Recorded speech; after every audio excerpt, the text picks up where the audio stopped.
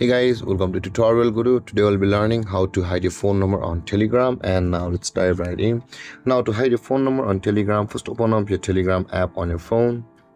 And on this interface guys, at the top left corner of the screen, you can see there's a three-lined icon available for us. Tap on that three-lined icon and again on this panel you can see the settings available for us just below the saved messages tap on settings and the moment you land on this interface you'll be required to go to the privacy and security over here just below the chat settings. Tap on privacy and security. And over here under the privacy you can see over here guys there says the phone number. Tap on the phone number now in order to hide your phone number on telegram from everyone tap on the nobody option available over here where it says the who can find me by my number.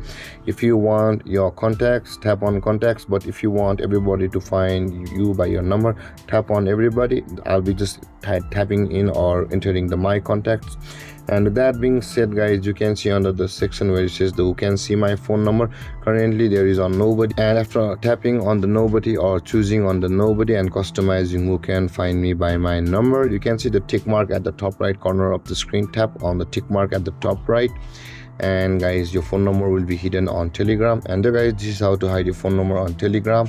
And if you have any confusions or questions regarding the topic feel free to comment in the comment section below. And don't forget to like subscribe and hit that bell icon for more videos. Thank you for watching guys. Peace